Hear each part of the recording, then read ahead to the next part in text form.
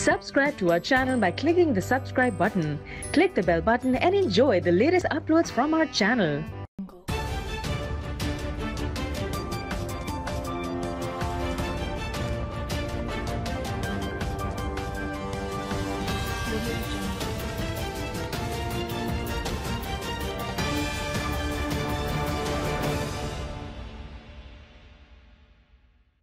Welcome to World News Channel.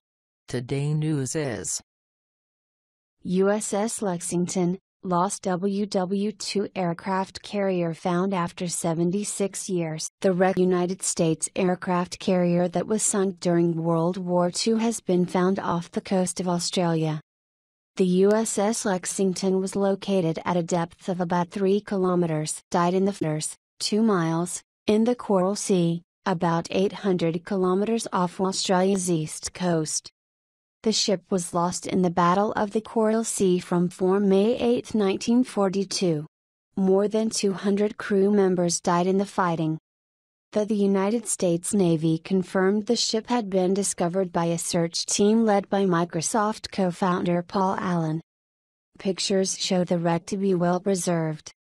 The discovery of the Lexington, along with 11 of its 35 aircraft, was made by Mr. Allen's company Vulcan on Sunday. Admiral Harry Harris, head of the United States Pacific Command, praised the discovery.